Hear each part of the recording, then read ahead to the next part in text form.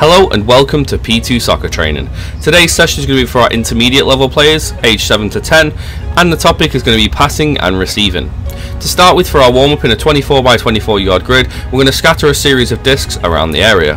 Half the players will have a ball and the other do not. Players will take around 5 dribbling touches and then seek to release a pass to a player without the ball.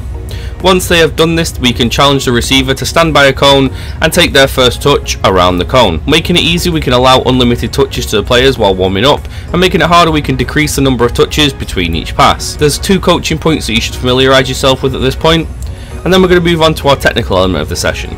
In the same 24 by 24 yard grid, divide your area into four smaller squares, measuring approximately 12 by 12 yards each. Each of these squares will operate separately, and you'll have the same activity going on simultaneously.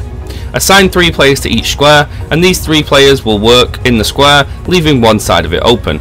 We start with players passing between their square. Once the players look like they're getting in a rhythm and playing maybe one or two touch, our progression would be to assign numbers to each people within the square, 1 through 3. And then when their number is shouted they will go to the next grid, and it will become a 2v1 inside each square.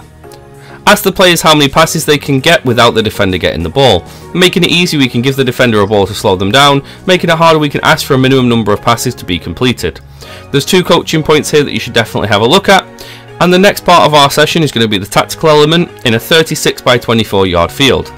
Divide your area into three equal rectangles approximately 12 by 24 and then divide into three teams and assign them a rectangle that they must stay inside. The players in the middle are the defenders. You're going to play the ball to either of the end team and they are going to try and connect five passes. One member of the defending team may enter and try and win the ball. If the team connects five passes, they play the ball to the other end of the field and the game continues with the defenders pressing from the middle. Making it easy we can ask for fewer passes or add a neutral player to each end, and making it harder we can ask for more passes, add a second defender, or allow the middle defenders to block the pass when switching. There's a coaching point on spatial awareness that you should have a look at here. And then we're going to go into our game. It's small sided, play 5v5 and try and keep all the players engaged. We suggest playing no goalkeepers and use small goals to encourage accurate shots. And to start with we instruct that the players must connect 3, 4 or 5 passes before taking a shot. We always advise that you should allow time for your players to enjoy the scrimmage without any conditions. Making it real we're going to assign positions, set formations and help players understand their roles within the game. There's a coaching summary on the session plan that you should definitely familiarise yourself with and thank you very much for watching and for more videos like these visit us on YouTube YouTube or visit us on p2.soccer.